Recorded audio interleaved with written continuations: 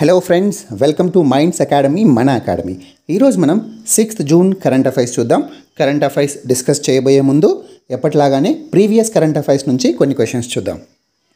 In recent monetary policy RBI kept all the rates as same in view of this which of the below are correct ఇటీవల RBI announce చేసినటువంటి monetary పాలసీలో అన్ని కీలక రేట్లను అలాగే ఉంచింది యాజ్ ఇట్ ఈస్గా ఉంచింది. అయితే ఈ క్రింది స్టేట్మెంట్స్లో ఏవి కరెక్ట్ అని అంటున్నాడు? First statement MSF and bank rates are same they are four point two five percent MSF అంటే మార్జినల్ స్టాండింగ్ ఫెసిలిటీ మీ అందరికీ తెలుసు bank rate so MSF bank rate కూడా సేమే ఉంటాయి four point two five percent ఇంతకుముందు ఉన్నది అలాగే ఉంచింది. This is also this is correct present CRR ఆర్బీఐతో బ్యాంకులు రిజర్వ్ చేయాల్సినటువంటి క్యాష్ రూపంలో చేయాల్సినటువంటి అమౌంట్ని సిఆర్ఆర్ అంటారు. అది ఫోర్ పర్సెంట్ ఉంది ఎప్పటి నుంచో and SLR statutory liquidity ratio. బ్యాంకులు తమ దగ్గర గోల్డ్ రూపంలో కానీ నగదు రూపంలో కానీ గవర్నమెంట్ సెక్యూరిటీస్ రూపంలో కానీ ఉంచాల్సినటువంటి అమౌంట్ ఎంత ఉంచాలి? ఎయిటీన్ పర్సెంట్ ఉంచాలి. అదే statutory liquidity ratio. That is also correct. And third statement if a bank takes a loan today under MSF its SLR can go down till fifteen percent. Very important ఈ స్టేట్మెంట్ని జాగ్రత్తగా గమనించండి. ఇక్కడ ఒక bank ఇవాళ కనుక లోన్ తీసుకుంటే I mean recent టైమ్స్లో అని చెప్పి ఇప్పుడున్నటువంటి సిచ్యువేషన్లో లోన్ తీసుకుంటే ఎంఎస్ఎఫ్ కింద ఎంఎస్ఎఫ్ కింద లోన్స్ ఎప్పుడు ఇస్తారు? ఓవర్ నైట్ లోన్స్ ఇస్తారు. అంటే ఎప్పుడైనా షార్ట్ టర్మ్ రిక్వైర్మెంట్ ఉంటే బ్యాంక్స్ కనుక overnight requirements overnight imbalances ఉంటే వాళ్ళ యొక్క అకౌంట్స్లో అప్పుడు ఎంఎస్ఎఫ్ కింద లోన్స్ తీసుకుంటారు ఆర్బీఐ దగ్గర నుంచి. అయితే ఒక బ్యాంక్ ఎంఎస్ఎఫ్లో లోన్ తీసుకుంటే దాని యొక్క ఎస్ఎల్ఆర్ ఫిఫ్టీన్ పర్సెంట్ వరకు కూడా వెళ్ళిపోవచ్చు అని చెప్తున్నారు. అంటే జనరల్గా ఆర్బీఐ రిక్వైర్మెంట్ ఏదైతే ఎయిటీన్ పర్సెంట్ ఉందో అది మీట్ అవ్వాల్సిన అవసరం లేదు. ఫిఫ్టీన్ పర్సెంట్ వరకు కూడా ఉండొచ్చు యాక్సెప్టబుల్ అని అంటున్నారు. కరెక్టా కాదా? దిస్ ఈజ్ ఎగ్జాక్ట్లీ కరెక్ట్ ఎందుకంటే ఆర్బీఐ ఇటీవల ఒక సర్క్యులర్ ఇచ్చింది. ఆ సర్క్యులర్లో ఇంతకుముందు అరౌండ్ సెప్టెంబర్లో ఒక సర్క్యులర్ ఇచ్చింది. ఆ తర్వాత ఆ సర్క్యులర్లో ఇచ్చినటువంటి వెసులుబాటును ఎక్స్టెండ్ చేస్తూ మళ్ళీ ఒక సర్క్యులర్ ఇచ్చింది. అగైన్ రీసెంట్గా ఫిబ్రవరి ట్వంటీ ట్వంటీ వన్లో ఒక సర్క్యులర్ ఇచ్చింది. ఈ సర్క్యులర్స్ అన్నిటి యొక్క సారాంశం ఏంటి అంటే ఎంఎస్ఎఫ్ మార్జినల్ స్టాండింగ్ ఫెసిలిటీ అంటే బ్యాంకులకి ఓవర్ నైట్ క్యాష్ రిక్వైర్మెంట్ వచ్చినప్పుడు అది ఇతర బ్యాంకుల నుంచి ఇంటర్ బ్యాంక్ ట్రాన్సాక్షన్స్ చేయలేకపోతే ఇంటర్ బ్యాంక్ క్రెడిట్ వాటికి దొరకకపోతే ఆర్బీఐ దగ్గర నుంచి ఎంఎస్ఎఫ్ రూపంలో తీసుకోవచ్చు. కానీ వాళ్ళకి సాధారణంగా రెపోలో ఏ విధంగా అయితే ఆర్బీఐ ఇంట్రెస్ట్ రేట్ ఇస్తుందో ఆ రేట్ ఇవ్వదు అంతకంటే ఎక్కువ ఇస్తుంది. మనకు తెలుసు రెపోలో ఇంట్రెస్ట్ రేట్ ఎంత? Four percent. కానీ ఎంఎస్ఎఫ్ ఎంత? Four point two five percent. So ఎక్కువ ఇంట్రెస్ట్ రేట్తో తీసుకోవచ్చు ఓవర్ నైట్ రిక్వైర్మెంట్కి. సెక్యూరిటీస్గా ఏం పెడతారు అంటే జనరల్గా రెపో రేట్తో తెచ్చుకునేటప్పుడు ఎస్ఎల్ఆర్ను మెయింటైన్ చేస్తూనే సెక్యూరిటీస్ పెట్టాలి ఆర్బీఐ దగ్గర. కానీ ఇక్కడ ఎంఎస్ఎఫ్లో ఎస్ఎల్ఆర్ మెయింటైన్ చేయకపోయినా ఇంతకు మునుపు ఎంత ఉండేది టూ పర్సెంట్ ఉండేది. టూ పర్సెంట్ ఎస్ఎల్ఆర్లో రిలాక్సేషన్ ఇస్తూ అంటే ఎస్ఎల్ఆర్ ఎయిటీన్ పర్సెంట్ ఉంటే దాన్ని సిక్స్టీన్ పర్సెంట్ వరకే మెయింటైన్ చేసుకొని ఆ మిగతా టూ పర్సెంట్ సెక్యూరిటీస్ కూడా ఆర్బీఐ దగ్గర పెట్టి అప్పు తెచ్చుకోవచ్చు. అదే ఇప్పుడు కోవిడ్ నైన్టీన్ పాండమిక్ వల్ల చాలా బ్యాంక్స్లో క్యాష్ ఇష్యూస్ వస్తున్నాయి లిక్విడిటీ ఇష్యూస్ వస్తున్నాయి కాబట్టి ఈ బ్యాంకులు ఎప్పుడైతే వాళ్ళకు లిక్విడిటీ సమస్యలు వస్తే ఓవర్ నైట్గా ఎంఎస్ఎఫ్ కింద త్రీ పర్సెంట్ వరకు కూడా రిలాక్సేషన్ ఇచ్చింది. అంటే ఎస్ఎల్ఆర్ త్రీ పర్సెంట్ వరకు తగ్గినా కూడా ఏం పర్లేదు అని చెప్పింది. But MSF is only for overnight ఆ ఓవర్ నైట్కి ఎస్ఎల్ఆర్ వాళ్ళ దగ్గర ఫిఫ్టీన్ పర్సెంట్ మెయింటైన్ చేసినా పర్లేదు. అంతకంటే తగ్గకూడదు. త్రీ పర్సెంట్ వరకు ఆ రిలాక్సేషన్ని ఎప్పటి వరకు ఎక్స్టెండ్ చేసింది? సెప్టెంబర్ ముప్పై రెండు వేల ఇరవై ఒకటి వరకు. Very important so till September thirty twenty twenty one banks can take loans under MSF and they can dip into their SLR up to three percent ఈ సర్కులర్కి సంబంధించినటువంటి సమాచారం మీకు ఇవ్వడం కోసమే ఈ క్వశ్చన్లో ఈ స్టేట్మెంట్ ఫ్రేమ్ చేశాను. So now all the statements are correct ఇక్కడ చూస్తే ఎంఎస్ఎఫ్ని ఎప్పుడు ఇంట్రడ్యూస్ చేసింది? ఆర్బీఐ రెండు వేల పదకొండులో ఇంట్రడ్యూస్ చేసింది. Now under MSF banks are allowed to take loans from RBI by dipping into SLR up to three percent of NDTL net demand and time liabilities so ఇక్కడ మనం నిన్న డిస్కస్ చేసాం accommodative stands సర్దుబాటు విధానాన్ని కొనసాగిస్తున్నట్టు RBI చెప్పిందని. Four percent repo rate three point three five percent reverse repo rate bank rate and MSF four point two five percent next క్వశ్చన్కి వెళ్తే ఇటీవల మరణించిన అనిరుద్ధ్ జగన్నాథ్ ఏ దేశానికి మాజీ ప్రధాని మరియు అధ్యక్షుడు? సో మారిషస్ దేశానికి చెందినటువంటి అనిరుద్ధ్ జగన్నాథ్ ఇవాళ మరణించారు. ఆయన యొక్క కుమారుడు ప్రవీణ్ జగన్నాథ్ ఇప్పుడు మారిషస్కి ప్రధానిగా ఉన్నారు. ఈయన అనిరుద్ధ్ జగన్నాథ్ ఇంతకుముందు మారిషస్ యొక్క ప్రధానిగాను రాష్ట్రపతిగాను కూడా వర్క్ చేశారు. DCGI has granted permission to which company recently to manufacture Sputnik V vaccine in India? ఏ కంపెనీకి స్పుత్నిక్ వి వ్యాక్సిన్ తయారీకి కావాల్సినటువంటి పర్మిషన్ను drug controller general of India ఇచ్చింది. Very important serum institute of ఇండియాకు ఇటీవల ఇచ్చింది. ఇంతకుముందు స్పుత్నిక్ వి వాళ్ళ యొక్క ప్రొడక్షన్ని పెనాసియా బయోటిక్స్ యొక్క బద్దీ యూనిట్లో బద్దీ హిమాచల్ ప్రదేశ్లో ఉన్నటువంటి బద్దీ యూనిట్లో పెనాసియా బయోటెక్ వాళ్ళతో ఒప్పందం కుదుర్చుకుంది స్పుత్నిక్ వి ప్రొడక్షన్ కోసం. ఇంతకుముందు గత వన్ మంత్ బ్యాక్ న్యూస్లో ఇది మనకు చూసాము. అయితే ఇప్పుడు సీరం ఇన్స్టిట్యూట్ ఆఫ్ ఇండియా వాళ్ళు మ్యానుఫ్యాక్చర్ చేయడానికి డీసీజీఐ దగ్గర పర్మిషన్ పొందారు Sputnik V వ్యాక్సిన్ని very very important development RBI in its recent monetary policy projected India's growth rate for financial year 2022 as ఆర్థిక సంవత్సరం రెండు వేల ఇరవై రెండుకు భారతదేశం యొక్క జీడిపి వృద్ధి రేటు వృద్ధి రేటు ఎంత ఉండొచ్చు అని చెప్పి ఆర్బీఐ అంచనా వేసింది. Nine point five percent. ఇంతకుముందు టెన్ పాయింట్ ఫైవ్ పర్సెంట్ని తగ్గించి రివైజ్ చేసి నైన్ పాయింట్ ఫైవ్ పర్సెంట్ అని చెప్పింది. G seven agrees on minimum tax దీని గురించి మనం క్లియర్గా డిస్కస్ చేసాం కానీ ఇవాళ మళ్ళీ వార్తల్లో నిలిచింది. ఎందుకు? మనం ఏమని డిస్కస్ చేసాం G seven to back minimum global corporate tax నా మూడవ తేదీ జూన్ కరెంట్ అఫైర్స్లో జీ సెవెన్ దేశాలు కనీస కార్పొరేట్ పన్నుకు మద్దతు ఇచ్చేందుకు సుముఖంగా ఉన్నాయని డిస్కస్ చేశాం. అవి ఇప్పుడు జీ సెవెన్ ఫైనాన్షియల్ మినిస్టర్స్ యొక్క మీటింగ్లో వాళ్ళు ఆమోద ముద్ర కూడా వేశారనమాట ఇప్పుడు. సో మినిమం ట్యాక్స్ను ఆమోద ముద్ర కూడా వేశారు. ఎంత మినిమం ట్యాక్స్? Fifteen percent. ఎవరు ప్రపోజ్ చేశారు? United States of America. ఎవరు ఈ గ్లోబల్ మినిమం ట్యాక్స్ని అచీవ్ చేయడానికి దాదాపు నూట నలభై దేశాలతో చర్చలు జరుపుతున్నారు. OECD organization for economic organization for economic cooperation and development. OECD యొక్క హెడ్ క్వార్టర్స్ ఏంటి? Paris. What is global minimum tax? Corporate companies ఏవైతే ఉన్నాయో ముఖ్యంగా అతిపెద్ద కార్పొరేట్ వ్యవస్థలు ట్యాక్స్ హేవెన్స్. ఏ దేశాల్లో అయితే ట్యాక్సెస్ చాలా తక్కువగా లేదా ట్యాక్సెస్ అసలు ఉండవో అలాంటి దేశాల నుంచి ఆరిజిన్ అయినట్లుగా సృష్టించి ఇతర దేశాల్లో వ్యాపారాలు జరుపుకుంటూ ఉంటారు.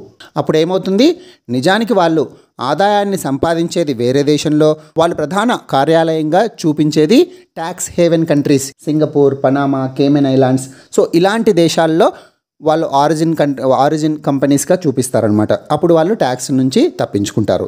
సో అందువ అందువల్ల అన్ని కంపెనీస్ కూడా ఏ దేశంలో అయితే వర్తకం కొనసాగిస్తారో వ్యాపారం చేస్తుంటారో ఆ దేశంలో ఖచ్చితంగా fifteen percent minimum tax pay చేయాల్సిందే. ఈ రూల్ని యునైటెడ్ స్టేట్స్ ఆఫ్ అమెరికా ముందుకు తీసుకొచ్చింది. ఇప్పుడు జీ సెవెన్ కంట్రీస్ కూడా ఒప్పుకున్నాయి. సో జీ సెవెన్ కంట్రీస్ ఇప్పుడు ఎందుకు ఫైనాన్షియల్ మినిస్టర్స్ uh, యొక్క సమ్మిట్ ఏర్పాటు చేసుకున్నాయి? జీ సెవెన్ సమ్మిట్ జరగబోతోంది త్వరలో. జీ సెవెన్ సమ్మిట్ ఎప్పుడు జరగబోతోంది? లెవెన్త్ నుంచి థర్టీన్త్ జూన్ వరకు జీ సెవెన్ సమ్మిట్ జరగబోతోంది. జీ సెవెన్ సమ్మిట్లో ఏడు దేశాలు ఉంటాయి జీ సెవెన్లో రిచెస్ట్ కంట్రీస్ అని మనం చూసాం. So these are the IMF advanced economies అని కూడా మనం మాట్లాడుకున్నాం. ఏ ఏ దేశాలు? Canada France Germany Italy Japan United Kingdom USA and European Union. So ఈ దేశాల యొక్క ప్రధానమంత్రులు కూడా మీరు చూసుకోవాలి లేదా అధ్యక్షులు కూడా మీరు చూసుకోవాలి. ఎందుకంటే జీ సెవెన్ ఎప్పుడు వార్తల్లో నిలుస్తూ ఉంది కాబట్టి ఎందుకు వార్తల్లో నిలుస్తోంది? జీ సెవెన్ సమ్మిట్కి బ్రిటన్ ప్రధాని అయినటువంటి బోరిస్ జాన్సన్ ప్రధానమంత్రి నరేంద్ర మోడీని అంతేకాకుండా ఆస్ట్రేలియా అధ్యక్షుడు స్కాట్ మారిసన్ని సౌత్ కొరియా అధ్యక్షుడు మూన్ జే ఇన్ని సౌత్ ఆఫ్రికా అధ్యక్షుడు సిరిల్ రాంఫోసా. సో వీళ్ళందరినీ కూడా ఇన్వైట్ చేశాడు. So guest countries to G seven. G seven యొక్క గెస్ట్ గెస్ట్ కంట్రీస్ అనమాట అంటే జీ సెవెన్కి ఇప్పుడు అతిథి దేశాలుగా ఎవరు వెళ్తున్నారు? Australia India South Korea and South Africa. So invite చేశాడు. అంతేకాకుండా ఇప్పుడు G seven corporate minimum tax కూడా సపోర్ట్ చేస్తుంది. చాలా రకాలుగా వార్తల్లో నిలుస్తోంది కాబట్టి జీ సెవెన్ దేశాలేవి జీ సెవెన్ ప్రధానమంత్రులు లేదా అధ్యక్షులు ఎవరు కూడా గుర్తుపెట్టుకోవాలి. కెనడాకి జస్టిన్ ట్రూడో మనకందరికీ తెలుసు. ఫ్రాన్స్ ఇమాన్యుయల్ మ్యాక్రాన్ ఈయన చాలా విషయాల్లో ఇప్పుడు ఒక రైట్ వింగ్ లీడర్గా వార్తలో నిలుస్తూ ఉన్నాడు. జర్మనీ అంజెలా మెర్కెల్ ఈమె ఎప్పటి నుంచో జర్మనీ ఛాన్సలర్గా ఉంటుంది. Italy Mario Draghi Japan Yoshihide Suga. చాలాసార్లు జపాన్ ప్రైమ్ మినిస్టర్ గురించి మనం మాట్లాడుకున్నాం. Yoshihide Suga. United Kingdom or England యొక్క ప్రధానమంత్రి ఎవరు? Boris Johnson. యునైటెడ్ కింగ్డమ్ ఇప్పుడు ఆతిథ్య దేశంగా హోస్ట్ కంట్రీగా వ్యవహరిస్తోంది జీ సెవెన్ సమ్మిట్కి. జీ సెవెన్ ఎక్కడ జరగబోతుంది? కార్న్వాల్లో జరగబోతుంది. యునైటెడ్ స్టేట్స్ యొక్క ప్రెసిడెంట్ ఎవరు? ఇటీవలే ఎన్నికైనటువంటి జో బైడెన్. సో మీకు ఇక్కడ గమనించాల్సింది ఏంటంటే యునైటెడ్ స్టేట్స్ యొక్క ప్రెసిడెంట్కి అండ్ జపాన్ యొక్క ప్రైమ్ మినిస్టర్ యోషిహిడే షూగాకి అండ్ ఇటలీ యొక్క ప్రైమ్ మినిస్టర్ మారియో డ్రాగీకి వీళ్ళ ముగ్గురికి కూడా ఇది మొట్టమొదటి జీ సెవెన్ సమ్మిట్. వీళ్ళు కొత్తగా ఎన్నిక కాబడ్డారు కాబట్టి వీళ్ళకు మొట్టమొదటి జీ సెవెన్ సమ్మిట్. సో దీని కంప్లీట్ డిస్కషన్ కంప్లీట్ అనాలిసిస్కి మీరు థర్డ్ జూన్ కరెంట్ అఫైర్స్ చూడొచ్చు. దీన్ని మనం బ్రీఫ్గా చూద్దాం.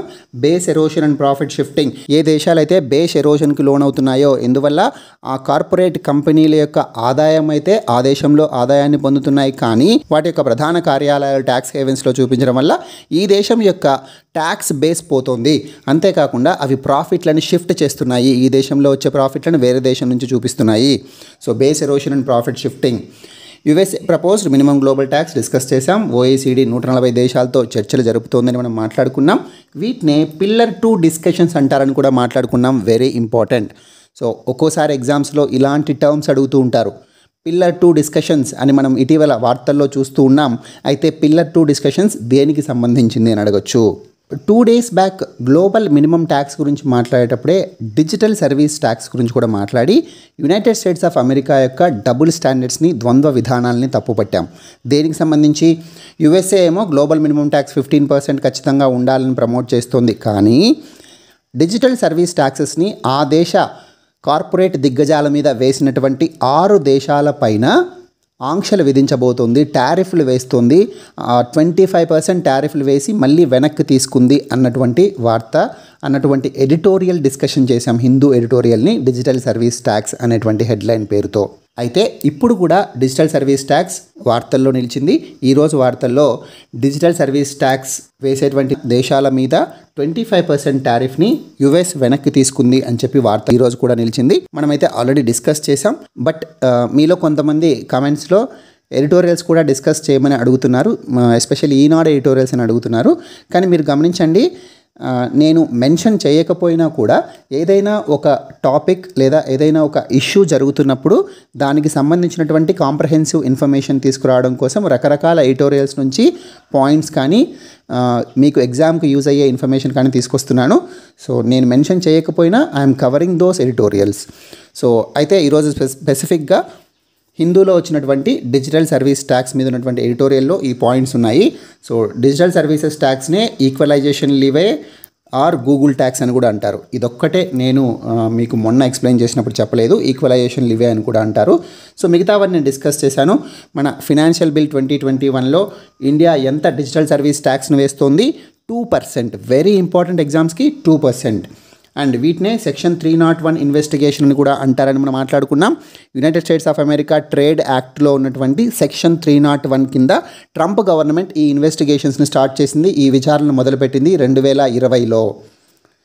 అయితే ఏ ఏ దేశాల మీద యునైటెడ్ స్టేట్స్ ఆఫ్ అమెరికా ఇప్పుడు twenty five percent tariff వేయబోయింది UK Australia India Italy Spain and Turkey very important ఈ ఆరు దేశాల మీద. అయితే ఎందుకు వెనక్కి తీసుకుంది? కోవిడ్ నైన్టీన్ పాండమిక్ వల్ల చాలా దేశాల యొక్క ఆర్థిక వ్యవస్థలు చితికిపోతున్నాయి. మళ్ళీ ఈ టారిఫ్ వేస్తే ఇబ్బంది అన్నటువంటి ఉద్దేశంతో మేము వెనక్కి తీసుకున్నామని చెప్పి చెప్పింది. అండ్ భారతదేశానికి సంబంధించినటువంటి ఎంత ఎక్స్పోర్ట్స్ ఇంపాక్ట్ అయ్యాయి ఇందులో? One one eight million US dollars యొక్క ఎగుమతులు. నూట పద్దెనిమిది మిలియన్ల అమెరికన్ డాలర్ల విలువ కలిగినటువంటి ఎగుమతులు భారతదేశానికి సంబంధించి ఎఫెక్ట్ అవ్వబోతాయి. ఒకవేళ ట్వంటీ ఫైవ్ పర్సెంట్ టారిఫ్ వేస్తే కనుక మొత్తం ఆరు దేశాలకు కలిపి రెండు బిలియన్ యుఎస్ డాలర్లని మనం చెప్పి క్లియర్గా మాట్లాడుకున్నాం. సో ఇక్కడ చూస్తే ఈ ఎడిటోరియల్లో అన్ని పాయింట్స్ మనం ఆల్రెడీ డిస్కస్ చేసాం కానీ మీరు ఎడిటోరియల్స్ చెప్పలేదు అనుకుంటున్నారు కాబట్టి నేను మళ్ళీ ఒకసారి చెప్తున్నాను. Next news item Nigeria suspends Twitter indefinitely ట్విట్టర్ను Nigeria నిరవధికంగా నిషేధించింది. ఎందుకు? ఆ దేశ అధ్యక్షుడైనటువంటి మహమ్మద్ బుహారీ ఈయన ఒక ట్వీట్ చేశారు. ఆ ట్వీట్ని ట్విట్టర్ డిలీట్ చేసింది. తమ దేశ అధ్యక్షుడు చేసినటువంటి ట్వీట్ని డిలీట్ చేసిందన్నటువంటి ఆరోపణతో నైజీరియా ట్విట్టర్ను నిషేధించింది. It banned Twitter indefinitely so అయితే ఆయన ఏం ట్వీట్ చేశాడు? ఎందుకు డిలీట్ చేసింది? ఈ డిస్కషన్ అవసరం లేదు. నైజీరియాలో జరుగుతున్నటువంటి పోలీస్ దుశ్చర్యల మీద చాలామంది సివిలియన్స్ పోరాటం చేస్తున్నారు.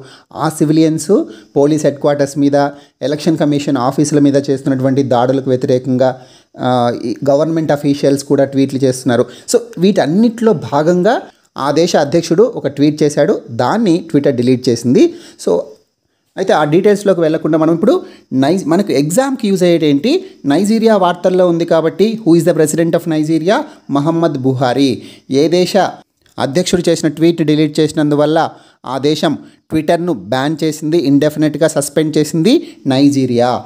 సో నైజీరియాలో ముఖ్యంగా Boko Haram very very important Boko Haram అనేటువంటి టెర్రరిస్ట్ ఆర్గనైజేషన్ నైజీరియా ప్రధాన కేంద్రంగా నడిపిస్తున్నారు. So this is very important అనమాట బోకో హరామ్ రెండు వందల డెబ్బై ఆరు స్కూల్ గర్ల్స్ని రెండు వందల డెబ్బై ఆరు మంది అమ్మాయిల్ని కిడ్నాప్ చేశారు.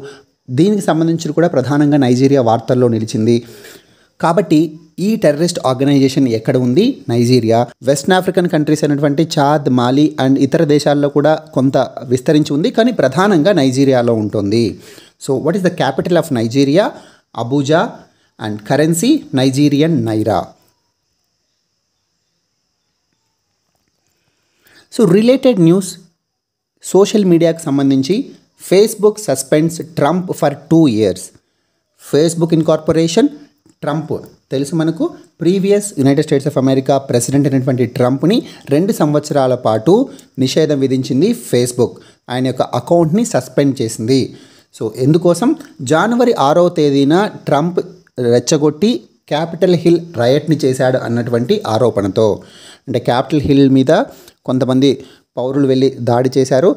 ఈ రయట్ ఏదైతే జరిగిందో ఆ అల్లర్లకి ట్రంప్ కారణం అని చెప్పి ఫేస్బుక్లో ట్రంప్ చేసినటువంటి పోస్ట్లే కారణమని చెప్పి ఫేస్బుక్ ఆయన యొక్క అకౌంట్ని రెండు సంవత్సరాల పాటు సస్పెండ్ చేసింది.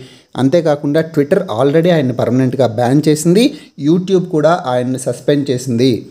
సో ట్విట్టర్ యూట్యూబ్ ఆల్రెడీ ఆయన సస్పెండ్ చేశాయి. But Facebook development latest development అనమాట one fourteen killed in Burkina Faso attacks. Burkina Faso దేశంలో జిహాదిస్టులు jihadist organisations al Qaeda and Islamic State. వీళ్ళు దాడులు జరిపారు అని అనుమానిస్తున్నారు. ఆ దాడుల వల్ల దాదాపు నూట పద్నాలుగు మంది మరణించారు అని చెప్పి వార్తలు వస్తున్నాయి. ఇప్పుడు నేను ఈ న్యూస్ చేసే సమయానికి అరౌండ్ వన్ థర్టీ వరకు కూడా ఉండొచ్చు అని చెప్పి చెప్తున్నారు. So this is deadliest attack ఈ అయితే బర్కీనా ఫాసో యొక్క అధ్యక్షుడు ఎవరు? రోష్ మార్ క్రిస్టియన్ కాబోర్ అధ్యక్షుడు Burkina ఫాసోకి. And capital of Burkina Faso Ouagadougou. Ouagadougou is the capital of Burkina Faso అయితే బర్కీనా ఫాసో మనం వార్తల్లో ఉంది కాబట్టి ఒకసారి మ్యాప్ చూస్తే ఇది ఇందాక మనం మాట్లాడుకున్నటువంటి నైజీరియా ఎక్కడ ఉంది దాని బార్డర్లో లేదు బట్ నేను చూపిస్తున్నాను నైజీరియా అండ్ దీని యొక్క బార్డర్లో మాలి నైజర్. సో బాలీకి నైజర్కి అండ్ బర్కినా ఫాసో బార్డర్లో జరిగాయన్నమాట ఈ అటాక్ జరిగింది. ఎక్కడ జరిగింది అంటే సోల్హాన్ అనే గ్రామం మీద. ఈ బార్డర్లో ఉన్నటువంటి సోల్హాన్ అనే గ్రామం మీద ఫ్రైడే నైట్ అటాక్ చేశారని చెప్పి చెప్తున్నారు. అందులో చాలామంది సివిలియన్స్ చనిపోయారని చెప్పి చెప్తున్నారు. సాధారణంగా ఏంటంటే ఈ బర్కినా ఫాసో దేశంలో ఈ టెర్రరిస్టుల దాడులకు వ్యతిరేకంగా టెర్రరిస్టులు అణిచివేయాలన్నటువంటి ఉద్దేశంతో బకీనా ఫాసో దేశం యొక్క సాయుధ బలగాలకు చేత చేతవ్వట్లేదు. అంటే ఆ మిలిటరీ సరిపోవట్లేదు అన్నటువంటి ఉద్దేశంతో వీడిపి అనేటువంటి ఒక వాలంటరీ ఆర్గనైజేషన్ ఫామ్ అయింది. VDP volunteers for the defence of the motherland అనే పేరుతో వీడీపీ అనేటువంటి ఆర్గనైజేషన్ ఫామ్ చేసుకున్నారు సివిలియన్సే ఫామ్ చేశారు. అది ఎక్కడుంది? సోల్హాన్ గ్రామంలో ఉందన్నమాట. So this is an anti jihadist civilian defence force అంటే టెర్రరిస్టులకు వ్యతిరేకంగా ఏర్పడినటువంటి పౌరుల డిఫెన్స్ ఫోర్స్ రక్షణ దళం అనమాట ఏంటిది? వీడీపీ. సో వీళ్ళని అటాక్ చేయడం కోసం టెర్రరిస్టులు అటాక్ చేశారు. ఆల్ ఖైదా అండ్ ఇస్లామిక్ స్టేట్కి సంబంధించినటువంటి టెర్రరిస్టులను నమ్ముతున్నారు. ఇంతవరకు కూడా వాళ్ళు ఎవరూ ప్రకటించలేదు మేమే చేశామని చెప్పి. సో వీళ్ళతో పాటు చాలామంది సివిలియన్స్ కూడా మరణించారు అని చెప్పి వార్తల్లో వస్తున్నాయి. దాదాపు నూట ముప్పై మంది వరకు మరణించారు ఈ ప్రాంతంలో జరిగినటువంటి అటాక్లో. సో అయితే బర్కినా ఫాసో బార్డర్స్లో ఏమేమి దేశాలు ఉన్నాయి? మాలి ఉంది Ivory Coast Ghana Togo Benin and Niger. అదేవిధంగా నైజీరియా గురించి మనం ఇందాక మాట్లాడుకున్నాం. ఏమని మాట్లాడుకున్నాం? నైజీరియా అధ్యక్షుడు చేసినటువంటి ట్వీట్ని డిలీట్ చేయడం వల్ల ట్విట్టర్ని సస్పెండ్ చేసింది ఇండెఫినెట్గా అని చెప్పి. సో నైజీరియా బార్డర్స్ కూడా చూస్తే Niger Chad Cameroon and South Atlantic Ocean ఉంది ఇక్కడ. సో ఇందాక మనం చెప్పుకున్నట్లు బోకో హరాం నైజీరియాలోనే కాకుండా Chad and Cameroon and Mali and నైజర్లో కూడా కొన్ని ప్రాంతాల్లో విస్తరించి ఉంది. Boko Haram terrorist unit. African continent ఈ మధ్య చాలా విషయాల్లో వార్తల్లో నిలు నిలుస్తోంది. డెమోక్రాటిక్ రిపబ్లిక్ ఆఫ్ కాంగో ఈ మధ్య వార్తల్లో నిలిచింది. సూడాన్ వార్తల్లో ఉంది. అండ్ ఈజిప్ట్ వార్తల్లో ఉంది. ముఖ్యంగా సిరియాకు సంబంధించి. అండ్ సినాయ్ పెనిన్సులా ఇక్కడ ఏదైతే ఈజిప్ట్ యొక్క సినాయ్ పెనిన్సులా మామూలుగా ఆఫ్రికన్ కాంటినెంట్లో కాకుండా ఏషియన్ కాంటినెంట్లో ఉన్నటువంటి ఒకే ఒక ఈజిప్షియన్ పార్ట్ ఏంటి? Sinai peninsula. సో అది కూడా వార్తల్లో ఉంది కాబట్టి మీరు ఆఫ్రికన్ కాంటినెంట్ మీద చాలా జాగ్రత్తగా స్టడీ చేయాల్సిన స్టడీ చేయాల్సినటువంటి అవసరం ఉంది. అండ్ ఇక్కడ చూస్తే హార్న్ ఆఫ్ ఆఫ్రికా అంటారు దీన్ని. హార్న్ ఆఫ్ ఆఫ్రికాలో ఉన్నటువంటి దేశాలు ఏవి సీడ్ అని పిలుస్తారు. Somalia Eritrea Ethiopia and Djibouti. So Djibouti ఎక్కడుంది? సో జిబోటి ఇక్కడ ఈ రెడ్గా ఉన్నటువంటిది Djibouti. Djibouti very very important అనమాట ఎందుకు చాలా ఇంపార్టెంట్ అంటే మీరు ఇక్కడ చూస్తే దిస్ ఈజ్ అరేబియన్ సీ ఈ అరేబియన్ సీ ఇది రెడ్ సీ తర్వాత వచ్చేది ఇక్కడ వచ్చేది సూయజ్ కెనాల్ రెడ్ సీ ద్వారా సూయజ్ కెనాల్ ద్వారా వర్తకం ఎక్కువగా సాగుతూ ఉంటుంది ప్రపంచ దేశాలు. సూయజ్ కెనాల్ ఇష్యూ గురించి మాట్లాడినప్పుడు మనం క్లియర్గా డిస్కస్ చేసాం ఎంత వర్తకం సాగుతుంది అని చెప్పి. అయితే జిబోటి కరెక్ట్గా ఈ ట్రేడ్కి సంబంధించినటువంటి ఎడ్జ్లో ఉంది కాబట్టి ఈ దేశంలో చాలా దేశాలు వాటి యొక్క మిలిటరీ బేసెస్ని ఏర్పరచుకున్నాయి ఉదాహరణకు France United States of America Japan China వీటన్నిటి కూడా మిలిటరీ బేస్ ఉంది. ముఖ్యంగా చైనాకు ఉంది. చైనాకు మిలిటరీ బేస్ ఉంది కాబట్టి ఇండియా కూడా తన యొక్క మిలిటరీ బేస్ను ఏర్పాటు చేసుకోవాలన్నటువంటి ఆలోచనలో ఉంది జిబోటికి. అందుకే ఇటీవల మనం మన దగ్గర కోవిడ్ నైన్టీన్ సెకండ్ వేవ్ వల్ల ఎన్నో ఇబ్బందులు ఎదుర్కొంటున్నప్పటికీ కూడా జిబౌటి దేశానికి భారతదేశం మెడికల్ సప్లైస్ కానీ అండ్ ఇతరత్ర అవసరాలకు సంబంధించినటువంటి హెల్ప్ అందించింది. ఎందుకు? Djibouti country has greater strategic significance for India especially in the wake of China's dominance China యొక్క ఆధిపత్య పోరును అణచడం కోసం జిబౌటి చాలా ఇంపార్టెంట్ అనమాట ఈ ఏరియాలో. చైనా ఇక్కడ మిలిటరీ బేస్ని తన స్ట్రింగ్ ఆఫ్ పర్ల్స్లో భాగంగా ఏర్పాటు చేసింది. స్ట్రింగ్ ఆఫ్ పర్ల్స్ భారతదేశానికి చుట్టూ ఉన్నటువంటి దేశాల్లో తమ సైనిక స్థావరాలను ఏర్పాటు చేసి ప్రా భారతదేశాన్ని ప్రమాదంలో పడేయాలని ఆలోచిస్తోంది డ్రాగన్ చైనా. సో దాని యొక్క థీరీనే స్ట్రింగ్ ఆఫ్ పర్ల్స్ థీరీ అంటారు. Tiananmen Square massacre anniversary.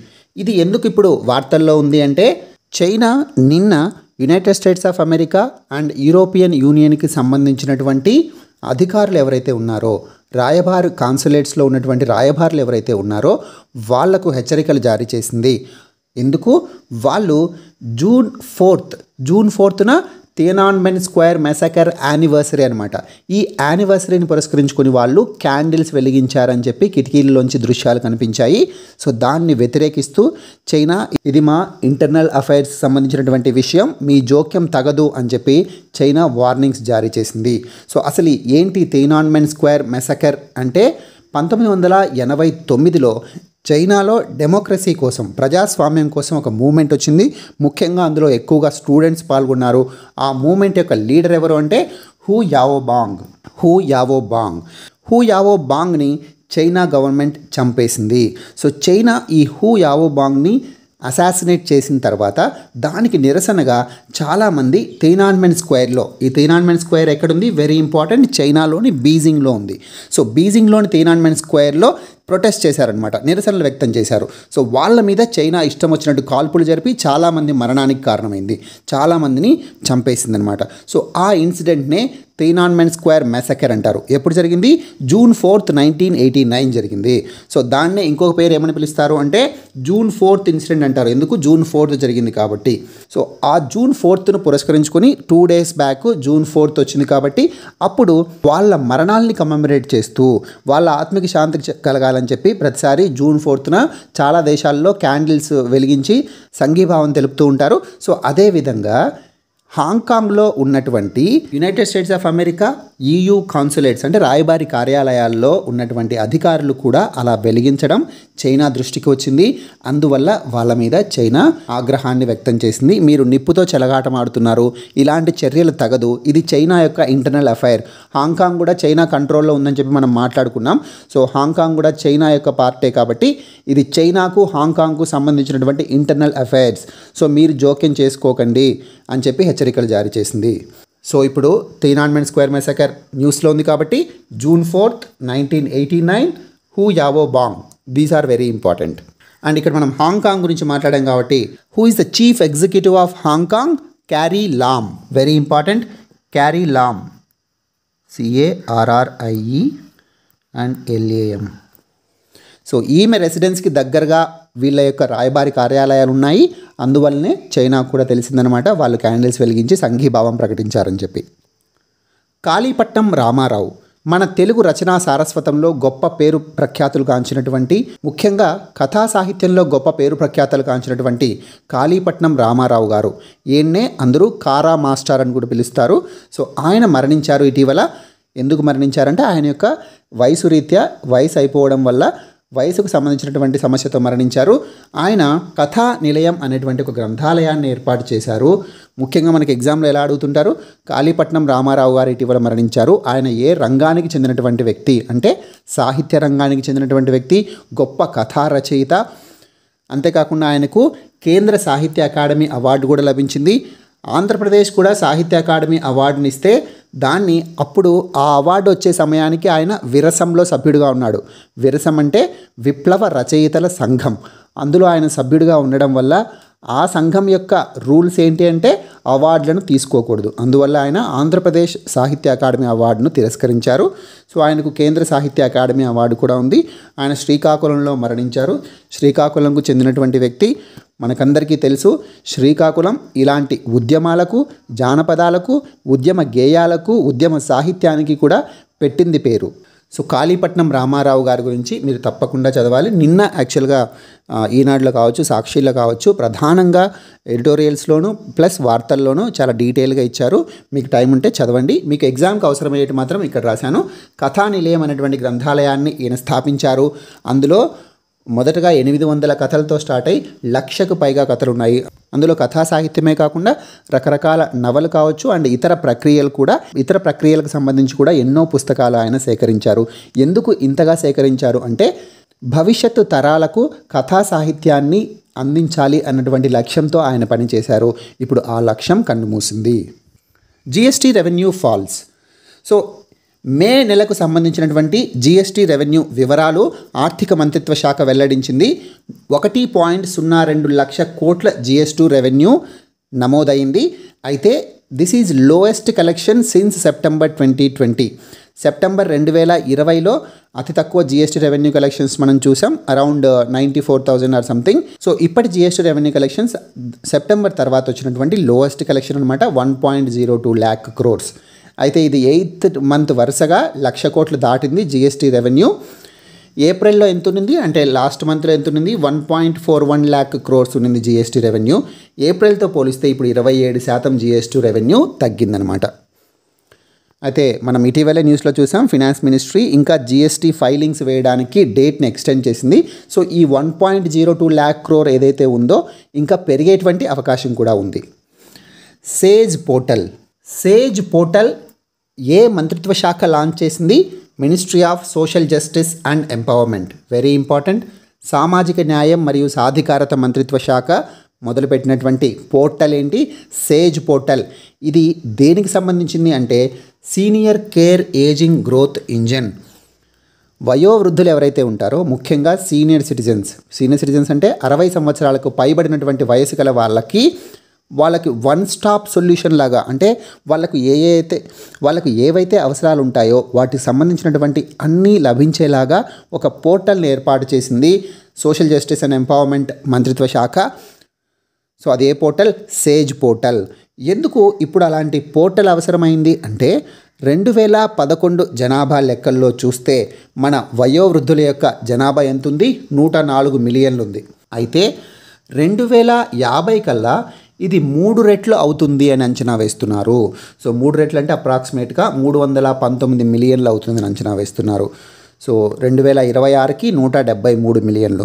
ఈ విధంగా వృద్ధుల యొక్క జనాభా పెరిగిపోతే వాళ్ళ యొక్క బాగోగులు చూసుకోవాల్సినటువంటి బాధ్యత సమాజం మీద ఎక్కువ అవుతుంది కాబట్టి వాళ్ళకు వాళ్ళ బాగోగులు చూడడం కోసం వన్ స్టాప్ యాక్సెస్ సొల్యూషన్ లాగా సేజ్ పోర్టల్ను లాంచ్ చేసింది. ఈ పోర్టల్ ద్వారా ఎల్డర్లీ కేర్ ప్రొడక్ట్స్ వయోవృద్ధుల ఆరోగ్యానికి సంబంధించి కానీ వాళ్ళ అవసరాలకు సంబంధించినటువంటి కానీ ప్రొడక్ట్స్ సర్వీసెస్ అన్నీ కూడా ఇందులో లభిస్తాయన్నమాట. ADB inked pact with government of India Asian development bank సిక్కింకు సంబంధించి ఒక ఒప్పందం చేసుకుంది కేంద్ర ప్రభుత్వంతో. ఏ ఒప్పందం అంటే రెండు పాయింట్ ఐదు మిలియన్ యుఎస్ డాలర్లు అసిస్టెన్స్గా ఇస్తుంది సహాయంగా ఇస్తుంది. అది రుణం రూపంలో లోన్ రూపంలో ఇస్తుంది. ఎందుకోసం? సిక్కిం రాష్ట్రంలో ఇన్ఫ్రాస్ట్రక్చర్ డెవలప్మెంట్ కోసం ముఖ్యంగా road infrastructure development in the north eastern state of Sikkim news item ఇంతవరకే ఇంపార్టెంట్ ఏంటి? ADB Asian development bank two point five million dollars loans అసిస్ loan assistance ఇస్తుంది ఏ రాష్ట్రానికి? సిక్కిం రాష్ట్రానికి.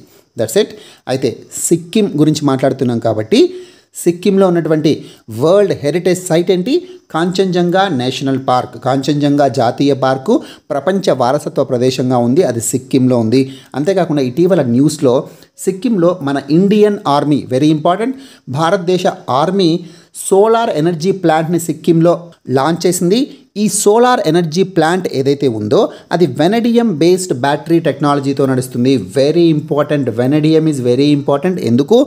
మొట్టమొదటిసారి భారతదేశంలో జనవరిలో వెనడియంని ఏ రాష్ట్రంలో కనుగొన్నారు? వెరీ ఇంపార్టెంట్ ఫ్యాక్ట్ అనమాట అరుణాచల్ ప్రదేశ్లో కనుగొన్నారు. సో అరుణాచల్ ప్రదేశ్లో భారతదేశంలోనే మొట్టమొదటిసారిగా వెనడియం రిజర్వ్స్ కనుగొన్నారు. అయితే ఈ వెనడియం బేస్డ్ బ్యాటరీ టెక్నాలజీతో నడిచేటువంటి సోలార్ ఎనర్జీ ప్లాంట్ని సిక్కింలో ఇండియన్ ఆర్మీ లాంచ్ చేసింది. వెనడియం గురించి మాట్లాడాం కాబట్టి which country is the largest producer of vanadium in the world ప్రపంచంలో అత్యధికంగా వెనడియంను ఉత్పత్తి చేసేటువంటి దేశం ఏది? చైనా. భారతదేశం మొత్తం ఫోర్ పర్సెంట్ వెనడియంని యూటిలైజ్ చేసుకుంటుంది. ప్రపంచ ఉత్పత్తుల్లో ఉన్నటువంటి నాలుగు శాతం వెనడియంని భారతదేశం ఉత్పత్తి చేసుకుంటుంది. ఇంతవరకు కూడా భారతదేశంలో వెనడియం రిజర్వ్స్ లేవు. ఇప్పుడే మొట్టమొదటిసారిగా అరుణాచల్ ప్రదేశ్లో కనుగొన్నారు. ఇంతవరకు భారతదేశం వెనడియంను ప్రొడ్యూస్ చేయలేదు. మొట్టమొదటిసారి అరుణాచల్ ప్రదేశ్లో కనుగొన్నారు. సో అండ్ సిక్కిం గురించి మాట్లాడుతున్నాం కాబట్టి who is the chief minister of Sikkim Prem Singh Tamang and Sikkim statehood day గురించి మనం ఈ మధ్య మాట్లాడుకున్నాం. ఎప్పుడు? మే నెలలో పదహారవ తేదీ. సో సిక్స్టీన్త్ మే సిక్కిం యొక్క స్టేట్ హుడ్ డే సిక్కిం భారతదేశం యొక్క ఇరవై రెండవ రాష్ట్రం. And who is the governor of Sikkim? Ganga Prasad very important. Ganga Prasad vanadium గురించి ఇందాక మనం మాట్లాడేసుకున్నాం. సో జనవరి ట్వంటీ ట్వంటీ వన్లో ఫస్ట్ టైం అరుణాచల్ ప్రదేశ్లో కనుగొన్నారు. భారతదేశం నాలుగు శాతం గ్లోబల్గా ఉన్నటువంటి వెనడియంను వినియోగిస్తోంది. China is the largest vanadium producer China vanadium యొక్క అతిపెద్ద ఉత్పత్తిదారు. Ladakh launches Youn tab scheme యువాస్ tab scheme. యువకుల కోసం ట్యాబ్లెట్స్ని స్టూడెంట్స్కి అందించిందనమాట లడాక్ గవర్నమెంట్. సో లడాక్ రీసెంట్గా ఏర్పడినటువంటి కేంద్రపాలిత ప్రాంతం మనకందరికీ తెలుసు. సో లడాక్ చాలా ఇంపార్టెంట్ ఎందుకంటే ఇది ఇటీవలే జస్ట్ ఒక two years back two years కూడా కాలేదు. సో ఏర్పడినటువంటి కేంద్రపాలిత ప్రాంతం కాబట్టి లడాక్ సంబంధించినటువంటి న్యూస్ ఇంపార్టెంట్ అవుతుంది. సో యువాన్ ట్యాబ్ స్కీమ్ని స్టార్ట్ చేసింది Ladakh government. Who is lieutenant governor of Ladakh? R K Mathur. Very important. R K Mathur is the lieutenant governor of Ladakh. ఆయన మొట్టమొదటి లెఫ్టినెంట్ గవర్నర్. ఈ స్కీమ్లో భాగంగా పన్నెండు వేల మూడు వందల ట్యాబ్లెట్స్ని విద్యార్థులకు అందజేస్తుందనమాట ఇక్కడ లేలో so Leh is the largest town in Ladakh అనమాట లేలో అందజేస్తుంది పన్నెండు వేల మూడు వందల ట్యాబ్లెట్స్ని ఎందుకు? కోవిడ్ నైన్టీన్ పాండమిక్ వల్ల ఆఫ్లైన్ క్లాసెస్ జరగట్లేదు ఫిజికల్ క్లాసెస్ జరగట్లేదు కాబట్టి ఆన్లైన్ క్లాసెస్ ఫెసిలిటీ కోసం ఈ ట్యాబ్లెట్స్ ఉపయోగపడతాయి. అయితే లడాక్ గురించి మాట్లాడాం కాబట్టి October thirty first two thousand నైన్టీన్లో Jammu Kashmir reorganisation act pass అయింది. ఆ యాక్ట్లో భాగంగా లడాక్ అండ్ జమ్మూ కాశ్మీర్ యూనియన్ టెరిటరీస్గా ఏర్పడ్డాయి. జమ్మూ కాశ్మీర్ని డివైడ్ చేసి Ladakh union territory and Jammu Kashmir union టెరిటరీగా ఏర్పాటు చేశారని మనకు తెలుసు. జమ్మూ కాశ్మీర్కి ఏమో అసెంబ్లీ ఉంటుంది లడాక్కి ఉండదు. అండ్ అక్టోబర్ థర్టీ ఫస్ట్నే ఎందుకు ఎంచుకున్నారు? Please comment in the comment section. Everest ఎక్కిన విశాఖ యువకుడు. సో మన ఆంధ్రప్రదేశ్కు చెందినటువంటి యువకులు ఎవరైనా ఎవరెస్ట్ ఎక్కితే అది ఇంపార్టెంట్ న్యూస్ అవుతుంది కాబట్టి చేర్చాను. అన్మీష్ వర్మ భూపతిరాజు అన్మీష్ వర్మ అనేటువంటి ఇరవై ఎనిమిది సంవత్సరాల యువకుడు ఈయన విశాఖపట్నంకు చెందినటువంటి యువకుడు. ఆయన ఎవరెస్ట్ని ఎక్కాడు ఈ నెల ఒకటవ తేదీన. So this is straight question అందులో అనాలిసిస్ ఏం లేదు. సో భూపతిరాజు అన్మీష్ వర్మ ఎవరెస్ట్ ఎక్కినటువంటి విశాఖకు చెందినటువంటి యువకుడు. What is vaccine passport so మనం ఈ మధ్య న్యూస్లో ఉంటుంది. అంతేకాకుండా నిన్న ప్రధానంగా వార్తల్లో నిలిచింది వ్యాక్సిన్ పాస్పోర్ట్ ఈరోజు అన్ని న్యూస్ పేపర్లో కూడా వచ్చింది. దేనికి సంబంధించింది అంటే జీ సెవెన్ ఆరోగ్య మంత్రుల సదస్సులో మన హెల్త్ మినిస్టర్ కేంద్ర ఆరోగ్య శాఖ మంత్రి అయినటువంటి హర్షవర్ధన్ గారు తీవ్రంగా వ్యాక్సిన్ పాస్పోర్ట్ విధానం మీద వ్యతిరేకించారనమాట తీవ్రంగా వ్యతిరేకించారు. ఎందుకు? ఇది డెవలపింగ్ కంట్రీస్ అభివృద్ధి చెందుతున్న దేశాల మీద వివక్ష లాంటిది అని చెప్పి. అసలు వ్యాక్సిన్ పాస్పోర్ట్ అంటే ఏంటి? ఒక దేశం నుంచి ఇంకో దేశం వెళ్ళాలంటే వ్యాక్సిన్ వేసుకున్నట్టు ధృవీకరణ పత్రం ఖచ్చితంగా చూపించాలి. ఎందుకు ఇవి స్టార్ట్ చేస్తున్నారు? కరోనా వైరస్ యొక్క కోవిడ్ నైన్టీన్ పాండమిక్ స్ప్రెడ్ని విస్తరించడాన్ని ఆపడం కోసం డెవలప్డ్ కంట్రీస్ ఈ మధ్య వ్యాక్సిన్ పాస్పోర్ట్ విధానాన్ని మొదలుపెట్టాయి. ముఖ్యంగా మనము కోవాక్సిన్ డబ్ల్యూహెచ్ఓ అనుమతి ఇంకా పొందలేదు అన్న న్యూస్ మాట్లాడేటప్పుడు సౌదీ అరేబియా అండ్ కొన్ని యూరోపియన్ నేషన్స్ కూడా ఈ వాళ్ళ యొక్క ఎయిర్పోర్ట్స్లో వ్యాక్సిన్ టూ టూ డోసెస్ తీసుకున్న వాళ్ళని మాత్రమే అలో చేయాలన్నటువంటి ఆలోచనతో ఉన్నాయని మనం డిస్కస్ చేశాం. దీన్ని హర్షవర్ధన్ గారు తప్పుపట్టారు. ఎందుకంటే డెవలప్డ్ కంట్రీస్కి రిసోర్సెస్ ఉన్నాయి మనీ ఉంది. అందువల్ల అవి వ్యాక్సినేషన్ ప్రోగ్రామ్ని సక్సెస్ఫుల్గా ఇంప్లిమెంట్ చేసి వాళ్ళ యొక్క ప్రజలందరికీ కూడా ఎక్కువ పర్సెంటేజ్లో వ్యాక్సిన్స్ వేయగలుగుతున్నారు. కానీ భారతదేశంలో ఇప్పటికీ కేవలం త్రీ పర్సెంట్ మందికి రెండు డోసుల వ్యాక్సిన్స్ ఇవ్వడం జరిగింది. ఇక్కడ కూడా వ్యాక్సిన్లు అందరికీ అందుబాటులో ఉంచకుండా వ్యాక్సిన్ నేషనలిజం అని కూడా ఒకటి ఉంది. సో వ్యాక్సిన్ నేషనలిజం అనేటువంటి టర్మ్ కూడా ఈ మధ్య న్యూస్లో ఉంది. సో ఇలాంటి టర్మ్స్ కూడా మీరు గుర్తుపెట్టుకోవాలి. వ్యాక్సిన్ నేషనలిజం అంటే వ్యాక్సిన్స్ కేవలం మా దేశ పౌరులకు మాత్రమే కావాలి అని చెప్పి డెవలప్డ్ కంట్రీస్ వేరే దేశాలకు ఇవ్వకుండా ఉంటే దాన్ని వ్యాక్సిన్ నేషనలిజం అంటారు. వ్యాక్సిన్ జాతీయవాదం. మరి వ్యాక్సిన్ పాస్పోర్ట్ అంటే డిస్కస్ చేసాం వ్యాక్సిన్కి సంబంధించి ఇంకా కొన్ని టర్మ్స్ చూస్తే వ్యాక్సిన్ హెజిటెన్సీ అంటే వ్యాక్సిన్ వేసుకుంటే ఏమైనా రియాక్షన్స్ వస్తాయేమో లేకపోతే బ్లడ్ క్లాట్స్ జరిగి మరణిస్తామేమో. సో ఇలాంటి అనుమానాలతో వ్యాక్సిన్ వేసుకోకుండా ఉండడాన్ని వ్యాక్సిన్ హెజిటెన్సీ అంటారు. And herd immunity H E R D herd immunity. Herd immunity అంటే ఎక్కువ శాతం మందికి ఇన్ఫెక్షన్ సోకడం వల్ల కానీ ఫస్ట్ థింగ్ గమనించండి ఇన్ఫెక్షన్ సోకడం వల్ల కానీ లేదా ఎక్కువ శాతం మందికి వ్యాక్సిన్ వేయడం వల్ల కానీ ఈ రెండిట్లో ఏదో ఒక విధంగా వైరస్ యొక్క స్ప్రెడ్ ఆగిపోతే దాన్ని హర్డ్ ఇమ్యూనిటీ అంటారు. అప్పుడు ఆ కమ్యూనిటీ హర్డ్ ఇమ్యూనిటీని అచీవ్ చేసింది అంటారు. సో ఎక్కువ మందికి వ్యాక్సిన్ వేసామనుకోండి దాదాపు తొంభై పర్సెంట్ మందికి వ్యాక్సిన్స్ వేస్తే వైరస్ స్ప్రెడ్ అయ్యేటువంటి అవకాశం ఉండదు. సో వైరస్ అక్కడే కంటైన్ అయిపోతుంది. సో దీన్నే హర్డ్ ఇమ్యూనిటీ అంటారు. సో అర్థమైంది కదండి? వ్యాక్సిన్ పాస్పోర్ట్ బయలాజికల్ ఈ ఇప్పుడు కొత్త వ్యాక్సిన్తో రాబోతుంది. బయలాజికల్ ఈ వాళ్ళ యొక్క వ్యాక్సిన్ పేరేంటి? బయలాజికల్ ఈ ఫార్మసీ కంపెనీ యొక్క వ్యాక్సిన్ కోబే వ్యాక్స్ సో ఈ కోబే వ్యాక్స్ హైదరాబాద్కి సంబంధించినటువంటి Biological E pharmacy company develop చేస్తుంది. ఇది recombinant protein subunit vaccine. So ఇది ఏ type of vaccine? Recombinant protein subunit vaccine. మనము కోవిషీల్డ్ గురించి మాట్లాడేటప్పుడు కోవిషీల్డ్ వ్యాక్సిన్ ఏ విధంగా తయారు చేస్తారు? చింపాంజీలోని అడినో వైరస్లోకి కరోనా వైరస్ యొక్క స్పైక్ ప్రోటీన్ని ఎక్కించి సో దాని ద్వారా వ్యాక్సిన్ తయారు చేస్తారని మాట్లాడుకున్నాం. ఆ కరోనా వైరస్ యొక్క స్పైక్ ప్రోటీన్ మన బాడీలోకి వెళ్ళినప్పుడు ఆ స్పైక్ ప్రోటీన్ మన కణాల లోపలికి చొచ్చుకుపోతుంది. అప్పుడు మన ఇమ్యూన్ సిస్టమ్ రెస్పాండ్ అవుతుంది. ఆ మెమరీ అలాగే ఉండిపోయి ఫ్యూచర్లో కోవిడ్ నైన్టీన్ వచ్చినప్పుడు కూడా అది వర్క్ అవుతుందని చెప్పి మనం మాట్లాడుకున్నాం. So COVID nineteen spike protein కూడా ఇమేజెస్తో మనం ఎక్స్ప్లెయిన్ చేసుకున్నాం. అసలు స్పైక్ ప్రోటీన్ యొక్క రోల్ ఏంటి? కరోనా వైరస్లో స్పైక్ ప్రోటీనే మన కణాల్లోకి చొచ్చుకుపోయేటువంటి మార్గాన్ని చూపిస్తుంది. కణాల్లో అది నివాసం ఉండి కరోనా వైరస్ రెప్లికేట్ అవ్వడానికి మల్టిప్లై అవ్వడానికి ఉపయోగపడుతుంది. సో ఇప్పుడు ఏం చేస్తారంటే వైరస్ని మొత్తాన్ని ఎక్కించరు. కేవలం ఆ స్పైక్ ప్రోటీన్ మాత్రమే సపరేట్ చేసి వ్యాక్సిన్లో ఉంచుతారు. సో ఆ స్పైక్ ప్రోటీన్ మన బాడీలోకి వెళ్ళినప్పుడు వైరసే వచ్చిందనుకొని మన బాడీ రెస్పాండ్ అవుతుంది. సో అయితే ఇప్పుడు ఏంటి వార్తల్లో ఉందంటే ఈ వ్యాక్సిన్ కేవలం ఒక డోస్ రెండు వందలకు మాత్రమే ఇస్తారంట. సో రెండు డోసులు కలిపి కేవలం నాలుగు వందల రూపాయలకే అందరికీ లభించేటువంటి అవకాశం ఉంది. అయితే ఇప్పుడు అందుబాటులో ఉన్నటువంటి కోవిషీల్డ్ అరౌండ్ త్రీ హండ్రెడ్ రూపీస్కి ఇస్తున్నారు. అండ్ కోవాక్సిన్ ఇంకా చాలా ఎక్కువ రేట్ సిక్స్ హండ్రెడ్ రూపీస్కి ఏమో ఇస్తున్నట్టున్నారు. సో అయితే ఇప్పుడు చీపెస్ట్ వ్యాక్సిన్ అవ్వబోతుంది బయోలాజికల్ ఈ వ్యాక్సిన్ కోర్బో కోర్బే వ్యాక్సిన్ అనేటువంటి పేరుతో వస్తుంది. కేంద్ర ప్రభుత్వం ఆల్రెడీ ఈ వ్యాక్సిన్ ముప్పై కోట్ల డోసుల్ని బుక్ చేసుకుంది. Sri Lanka sued over ship disaster ఈ మధ్య మనం శ్రీలంకలోని పోర్ట్ సిటీ నెగోంబో అక్కడి నుంచి బయలుదేరినటువంటి ఎంవి ఎక్స్ప్రెస్ పర్ల్ ఈ షిప్ ఈ షిప్లో అగ్ని ప్రమాదం జరిగింది. ఈ అగ్ని ప్రమాదం జరగడం వల్ల షిప్ ఒకవైపు వరగబడి పార్షియల్గా సబ్మర్జ్ అయిందనమాట పార్షియల్గా సబ్మర్జ్ అవడమే కాకుండా వీళ్ళు టౌ బోట్స్ అంటారు టీఓడబ్ల్యూ. టౌ బోట్స్ అంటే ఏవైనా ఇక్కడ షిప్స్ ప్రమాదంలో ఉన్నప్పుడు వాటిని రక్షించడానికి వెళ్తారనమాట అలా వెళ్ళిన వాళ్ళు కూడా దీన్ని సబ్మర్జ్ అయిన దాన్ని రిట్రీవ్ చేయలేము అని చెప్పి వెనక్కి వచ్చేసారు ఎందుకు? అది ఆల్మోస్ట్ ఓషన్ బేస్ని తాకింది ఒక ఒకవైపు.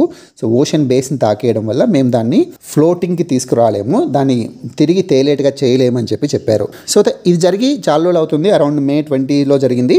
అయితే ఇప్పుడు ఇష్యూ ఏంటి అంటే ఇక్కడ ఆయిల్ స్పిల్ జరిగేటువంటి అవకాశం ఉంది అని చెప్పి చెప్తున్నారు. ఎందుకు? ఆ షిప్ ఏమేం మోసుకెళ్తుంది? దాదాపు ఇరవై ఐదు టన్నుల నైట్రిక్ యాసిడ్ని మోసుకెళ్తుంది. అంతేకాకుండా ఇతరత్ర రసాయనాలను కాస్మెటిక్స్ని కూడా మోసుకెళ్తుంది. సౌందర్య లేపనాలు రసాయనాలు అండ్ నైట్రిక్ యాసిడ్ని కూడా మోసుకెళ్తుంది. సో ఈ యాసిడ్స్ రసాయనాలు కనుక సముద్రంలో పడితే ఆ సముద్రం సముద్రం చాలా వరకు పొల్యూట్ అయ్యి అక్కడ పర్యావరణం దెబ్బతిని అక్కడ జీవరాశులు దెబ్బతిని అంతేకాకుండా ఫిషెస్ అన్ని కూడా చనిపోతాయి. సో ఇలా చాలా నష్టం వాటిల్లేటువంటి ప్రమాదం ఉంది. అందుకే ఎన్వైర్న్మెంటలిస్టులు పర్యావరణవేత్తలు శ్రీలంక మీద కేసులు వేశారనమాట శ్రీలంక యొక్క నిర్లక్ష్యం వలనే ఈ ఆయిల్ స్పిల్ జరిగేటువంటి ప్రమాదం ఏర్పడింది అని చెప్పి. సో ఈ ఆయిల్ స్పిల్ పడి అక్కడ ఉన్నటువంటి ఫిషెస్ కూడా పొల్యూట్ అయ్యేటువంటి అవకాశం ఉంది కాబట్టి వాటర్ పొల్యూషన్ వల్ల గవర్నమెంట్ చుట్టుపక్కల ఎనభై కిలోమీటర్ల స్ట్రెచ్ వరకు ఫిషర్మెన్ని వేటకు వెళ్ళొద్దు చేపల వేటకు వెళ్ళొద్దు అని చెప్పి కూడా హెచ్చరించింది. సో దానివల్ల దాదాపు ఐదు వేల బోట్లు నిలిచిపోయాయని చెప్పి వార్తల్లో చెప్తున్నారు. సో ఎక్కడి నుంచి వెళ్ళింది ఈ షిప్? నెగోంబో పోర్ట్ సిటీ నుంచి. దాని పేరేంటి? ఎంవి ఎక్స్ప్రెస్ పర్ల్ ఇది ఏ దేశంలో రిజిస్ట్రేషన్ కాబడింది? సింగపూర్ రిజిస్టర్డ్ షిప్ అనమాట NASA's Venus missions. Very important NASA America దేశానికి చెందినటువంటి అంతరిక్ష పరిశోధన సంస్థ. నాసా రెండు మిషన్స్ని పంపించింది వీనస్కి. సో ఏంటా machines? DaVinci plus and Veritas. So ఈ మిషన్స్ని ఒక్కొక్క దానికి కూడా ఐదు వందల మిలియన్ డాలర్లు యుఎస్ డాలర్లు ఖర్చు పెట్టేటువంటి అవకాశం ఉందని చెప్పి చెప్తున్నారు. ఇవి ఎప్పుడు లాంచ్ చేయబోతోంది? రెండు వేల ఇరవై ఎనిమిది ముప్పై సంవత్సరాల్లో లాంచ్ చేసే అవకాశం ఉంది. ఏంటా? Venus missions of NASA DaVinci plus and Veritas అయితే వీనస్ మీదకి ఇంతకుముందు ఏ దేశాలు కూడా పంపించలేదా మిషన్స్ను అంటే ఆల్రెడీ పంపించాయి. సోవియట్ యూనియన్ యొక్క వెనేరా సిరీస్ నాసా కూడా పంపించింది ఇంతకుముందు మెగల్లన్ మిషన్. ఇప్పుడు ఆల్రెడీ వర్కింగ్లో ఉన్నటువంటి జపాన్ యొక్క అకత్సుకి మిషన్. ఎందుకు ముందు పంపించినటువంటి మిషన్స్ మనకి ఇంపార్టెంట్ అంటే ఒక్కోసారి ఎగ్జామ్లో స్టేట్మెంట్ ఇస్తూ ఉంటారు. This is the first mission ever sent to the Venus అంటారు. అంటే మొట్టమొదటిసారిగా ఈ మిషన్ను వీనస్ మీదకి పంపించారు. ప్రపంచంలో ఇంకే దేశాలు పంపించలేదు అన్నటువంటి అర్థం వచ్చే స్టేట్మెంట్స్ ఇస్తారు. సో అవి తప్పు అని మనం తెలుసుకోవాలంటే ఇంతకుముందు ఏమైనా వెళ్ళాయా అని మనకు తెలియాలి. అయితే సోవియట్ యూనియన్కి చెందినటువంటి వెనేరా సిరీస్ ఇది ఎక్కువసేపు ఉండలేకపోయింది. ఎందుకు? వీనస్ మీద అతి ఎక్కువ టెంపరేచర్స్ ఉంటాయి. అంతేకాకుండా Venus is the hottest planet. సౌర కుటుంబంలో ఉన్నటువంటి హాటెస్ట్ ప్లానెట్ అత్యధిక ఉష్ణోగ్రతలు కలిగినటువంటి గ్రహం ఏది అంటే వీనస్. Very important. మరి వీనస్ ఎందుకు అత్యధిక ఉష్ణోగ్రతలు కలిగి ఉంది? ఇది సూర్యుడికి రెండవ అతి దగ్గరగా ఉన్నటువంటి గ్రహం. సూర్యుడికి అతి దగ్గరగా ఉన్నటువంటి గ్రహం ఏది? మెర్క్యూరీ. అయినప్పటికీ కూడా వీనస్ ఈజ్ ద హాటెస్ట్. అయితే ఈ మిషన్స్ గురించి మనం ఒకసారి చూస్తే డావిన్సీ ప్లస్ దీని యొక్క ఎక్స్పాన్షన్ చూస్తే deep atmosphere Venus investigation of noble gases chemistry and imaging. దీని పేరులోనే మనకు తెలుస్తుంది వీనస్లో ఇన్వెస్టిగేట్ చేయబోతుంది. దేని గురించి? అక్కడ ఉన్నటువంటి నోబుల్ గ్యాసెస్ని స్టడీ చేస్తుంది. అక్కడ కెమిస్ట్రీ అండ్ ఇమేజింగ్ ద్వారా అక్కడ ఉన్నటువంటి వాతావరణాన్ని అధ్యయనం చేస్తుంది. సో అది వీనస్ యొక్క కంపోజిషన్ని అండ్ వీనస్ ప్లానెట్ ఏ విధంగా ఏర్పడింది ఏ విధంగా పరిణామం చెందుతుందో అధ్యయనం చేస్తుంది. అంతేకాకుండా అక్కడ హై రెజల్యూషన్ ఇమేజెస్ని తీసి ఇది భూమి మీదకి పంపుతుంది. దాన్ని వీళ్ళు అధ్యయనం చేస్తారనమాట ఏంటి mission? DaVinci plus so Venus చాలా హై క్లౌడ్స్తో ఉంటుంది అనమాట ఎక్కువగా క్లౌడ్స్తో కప్పబడి ఉంటుంది. అంతేకాకుండా అతి ఎక్కువ టెంపరేచర్స్ కలిగి ఉంటుంది. ఇందాక మనం మాట్లాడుకున్నట్లు. అండ్ సెకండ్ మిషన్ ఏంటి? వెరిటాస్ వెరిటాస్ అండ్ వెరిటాస్ అంటే Venus emissivity radio science InSAR topography and spectroscopy so topography అంటే మనకు తెలుసు. మనకు భూమి మీద సాధారణంగా టోపోగ్రఫీ అంటే భౌగోళిక రిలీఫ్స్ అంటారు. అంటే ఏ విధంగా ఉన్నాయి కొండలు నదులు అండ్ పీఠభూములు మైదానాలు ఈ రిలీఫ్స్ ఏ విధంగా ఉన్నాయో స్టడీ చేసేది టోపోగ్రఫీ. అదేవిధంగా వెరిటాస్ అంటే అక్కడ ఉన్నటువంటి భౌగోళిక చరిత్రను అధ్యయనం చేస్తుంది. అక్కడ భౌగోళిక రిలీఫ్స్ ప్రాంతాలు ఏ విధంగా ఉన్నాయో కూడా అధ్యయనం చేస్తుంది. అంతేకాకుండా ముఖ్యంగా plate tectonics volcanism. Plate tectonics మీరు జాగ్రఫీలో చదివి ఉంటారు అండ్ వోల్కానిజం అగ్నిపర్వతాలు బద్దలయ్యేటువంటి వోల్కానిజం కూడా అక్కడ స్టిల్ యాక్టివ్గా ఉందా? ఇంకా యాక్టివ్గా ఉందో లేదో కూడా వెరిటాస్ మిషన్ అధ్యయనం చేస్తుంది. సో వీనస్ గురించి మనం ఇందాక ఆల్రెడీ మాట్లాడుకున్నాం. And important point Venus is called Earth's twin. ఎందుకు? భూమి యొక్క కవలగా వీనస్ని చెప్తారు. భూమి వీనస్ రెండు దాదాపు ఒకే సైజు ఉంటాయి అండ్ ఒకే మాస్ని కూడా కలిగి ఉంటాయి. So equal size equal mass అప్రాక్సిమేట్గా ఉండడం వల్ల భూమి యొక్క కవలగా వీనస్ని చెప్తారు. బట్ వీటి మధ్య చాలా డిఫరెన్సెస్ ఉన్నాయి. ఎందుకంటే భూమి మీద జనాలు నివసించగలుగుతారు వీనస్ మీద నివసించలేరు. ఎందుకు? మనం ఇందాకే మాట్లాడుకున్నాం. దాదాపు నాలుగు వందల డిగ్రీ సెంటీగ్రేడ్ ఉష్ణోగ్రత ఉంటుంది. సో అక్కడ మానవుడు నివసించేటువంటి అవకాశమే లేదు. అంతేకాకుండా వీనస్కి అర్థకున్న డిఫరెన్సెస్ చూస్తే వీనస్లో సూర్యుడు ఉత్తరాన్ని కాదు పడమటిన ఉదయిస్తాడు. ఎందుకు? సూర్యుడి చుట్టూ వీనస్ తిరిగేటువంటి డైరెక్షన్ ఏదైతే ఉందో దానికి ఆపోజిట్ డైరెక్షన్లో వీనస్ తిరుగుతుంది. సో మీకు అర్థమైందా? సాధారణంగా భూమి సూర్యుని చుట్టూ తిరుగుతుంది. సో సూర్యుని చుట్టూ ఇలా తిరుగుతుంది అనుకోండి. సో అదే డైరెక్షన్లో భూమి కూడా తన చుట్టూ తాను తిరుగుతుంది. బట్ వీనస్ ఏం చేస్తుందంటే సూర్యుని చుట్టూ తిరిగే డైరెక్షన్ ఒకటి బట్ తన చుట్టూ తాను ఇలా తిరగదు రివర్స్లో తిరుగుతుంది ఇలా తిరుగుతుంది. సో అందువల్లనే సూర్యుడు వీనస్లో వెస్ట్న ఉదయిస్తాడు. మనకు ఈస్ట్న అయితే వీనస్లో వెస్ట్న ఉదయిస్తాడు. పశ్చిమాన ఉదయిస్తాడు. అండ్ ఇంకొక ఇంపార్టెంట్ ఫ్యాక్ట్ ఏంటంటే Venus doesn't have moon or rings. మనకున్నట్లు Venus మీద మూన్ ఉండదు అండ్ వీనస్కు రింగ్స్ ఉండవు. ఎక్కువ రింగ్స్ ఉన్నటువంటి ప్లానెట్ ఏది? సాటర్న్. సో సాటర్న్కి రింగ్స్ ఉంటాయి. వీనస్కి అసలు రింగ్స్ ఉండవు. మూన్ లేనటువంటి ఇంకొక ప్లానెట్ ఏంటి? Very important Mercury. మన సౌర కుటుంబంలో only two planets doesn't have moon. అన్నిటికీ మూన్స్ ఉన్నాయి. కేవలం రెండు గ్రహాలకు మాత్రం మూన్స్ లేవు. అవి ఏవంటే వీనస్ అండ్ మెర్క్యూరీ సో ఇప్పటితో ఈ ఉన్నటువంటి అనాలిసిస్ వైజ్ ఉన్నటువంటి న్యూస్ ఐటమ్స్ కవర్ చేశాము. అయితే కొన్ని పాయింటర్స్ జస్ట్ ఒక పాయింట్ చెప్తే సరిపోతుంది. వీటికి అనాలిసిస్ అవసరం లేదు అనుకున్నటువంటి పాయింటర్స్ కొన్ని యాడ్ చేశాను. Pakistan has developed a home made vaccine for COVID nineteen PakVac with the help of China so ఇది ఎగ్జామ్లో ఏ రకంగా అడిగేటువంటి అవకాశం ఉందంటే పాకిస్తాన్ ఎవరి సహాయంతో పాక్ వ్యాక్ అనేటువంటి వ్యాక్సిన్ డెవలప్ చేసింది ఎవరి సహాయంతో? చైనా సహాయంతో. లేదా పాకిస్తాన్ చైనా సహాయంతో ఒక వ్యాక్సిన్ తయారు చేసింది. దాని పేరేంటి? పాక్ వ్యాక్ సో ఇంతకు మించి పాకిస్తాన్ మీద అడిగేటువంటి అవకాశం లేదు. Usman Khan former Indian hockey player recently passed away. So Usman Khan ఈయన మాజీ హాకీ క్రీడాకారుడు అనమాట ఆయన ఇటీవల మరణించారు. సో ఉస్మాన్ ఖాన్ ఏ రంగానికి చెందినటువంటి వ్యక్తి అంటే స్పోర్ట్స్ లేదా hockey. IIT Hyderabad developed nanofiber based oral tablets of amphotericin B called AMB. This is very important development IIT Hyderabad వాళ్ళు ఆంఫోటెరిసిన్ బి చాలా ఇంపార్టెంట్ మనం చాలాసార్లు డిస్కస్ చేసాం దేనికి సంబంధించినటువంటి మంది ఇది? Fungal infections. ముఖ్యంగా మ్యూకర్ మైకోసిస్ గురించి డిస్కస్ చేసేటప్పుడు దానికి ఉన్నటువంటి మంది ఏది? ఆంఫోటెరిసిన్ బి అని మనం మాట్లాడుకున్నాం. అంతేకాకుండా మిగతా ఫంగల్ ఇన్ఫెక్షన్స్ కూడా ఆంఫోటెరిసిన్ బి వర్క్ అవుతుంది. ఈ ఆంఫోటెరిసిన్ బిని నానో ఫైబర్ బేస్డ్ ఓరల్ టాబ్లెట్స్ని డెవలప్ చేసింది IIT Hyderabad. Very important IIT Hyderabad. దాని పేరేంటి? AmB that's it for today Please like, share and subscribe. Thank you so much.